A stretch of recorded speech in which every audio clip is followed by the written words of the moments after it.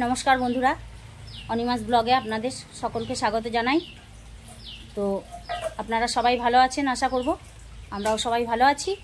তো বন্ধুরা, আসুন অনিমাস ব্লগে আজকে দেখুন নতুন একটা জিনিস। আমরা এক জায়গায় ঘুরতে যাচ্ছি। তো দেখে নিন আমরা কোথায় যাচ্ছি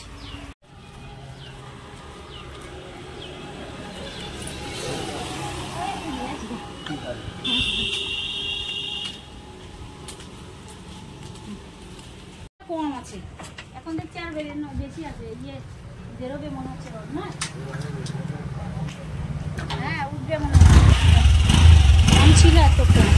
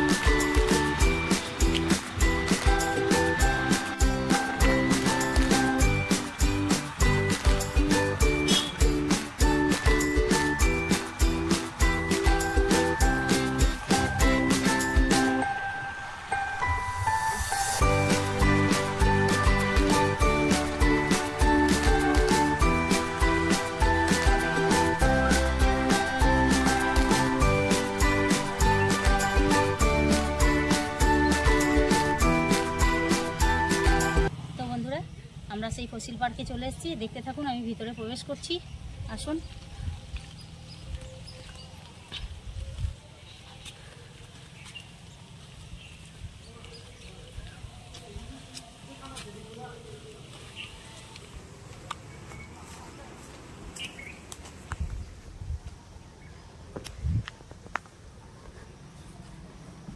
টিকিটটা করে নিচ্ছি।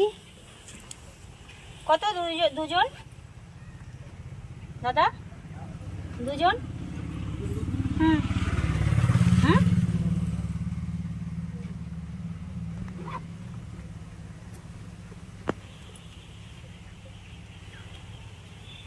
হুম। না না ঠিক আছে। না।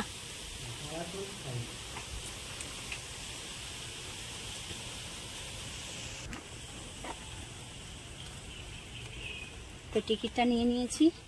চলুন এবার ভেতরে যাওয়া যাক।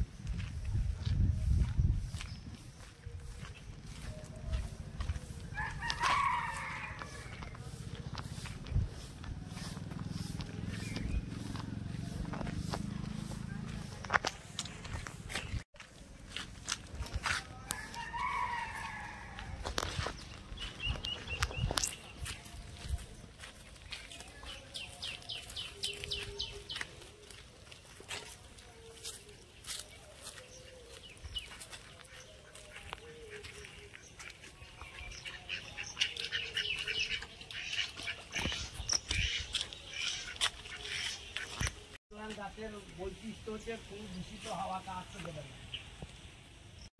তা পাথর কুচি ওই পাতাটা ছিঁড়িয়ে বইয়ে শিকড় করার জন্য লয়। না ওই যে কিডনি পেছাব না হলে নাকি বেটে লাগিয়ে দিলে খুশি পাওয়া যাবে পেশাবের থলেতে গলবেলারের ভিতরে যে কোনো ব্যাক অচকায় জায়গার যেটা পাথর হয় সেটা পাথর কুচির মেডিসিন থেকে গলিয়ে বার করতে পারে। তার জন্য নাম পাথর কুচি। পাথরটাকে কি করে বলতো? ওই পাতাটাকে বেটে লাগিয়ে দিতে হবে না খেতে হবে মা। হ্যাঁ। দেখ। দেখ একটা গাছ মামুনি। ওটা কি গাছ? গাছটা চিনে যা। হ্যাঁ। এই হচ্ছে বন কেওড়া। এর ফুলের থেকে কেওড়া জল বিরিয়ানি জল। এই। তো বন জঙ্গলের মতো হয়ে যায় সে হ্যাঁ কেওড়া। এরা গ্রীষ্মে থাকে না, মা।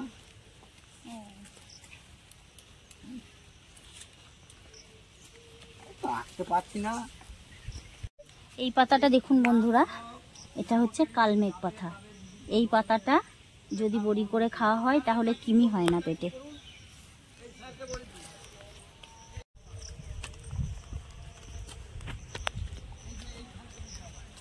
এটা হচ্ছে আমলকি গাছ।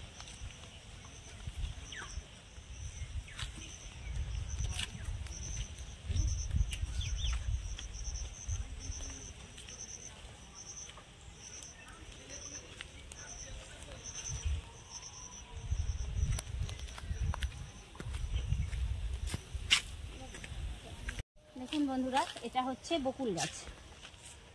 বকুল ফুল খুব সুন্দর হয়, গন্ধও হয়, মিষ্টি।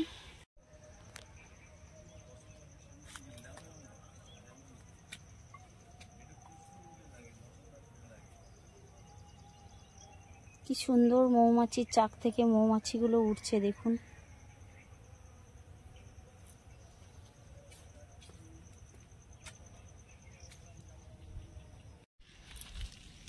দেখুন, এটা হচ্ছে অভ্র ফসিলের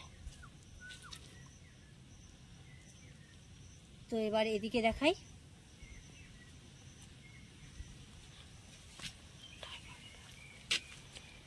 এটা হচ্ছে ডায়মন্ড। দেখুন, ফসিলের মধ্যে সবই আছে।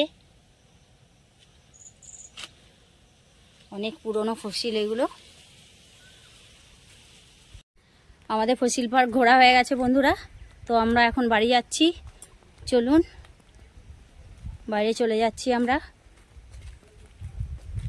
তো আপনাদের যদি এই ফসিল পার্ক ঘোরাটা ভালো লাগে দেখাটা, তাহলে আপনারা একটা লাইক, কমেন্ট, শেয়ার, একটা সাবস্ক্রাইব করে দেবেন বন্ধুরা। সবাই ভালো থাকুন, সুস্থ থাকুন। এই কামনায় শেষ করলাম আজকের ভিডিওটা।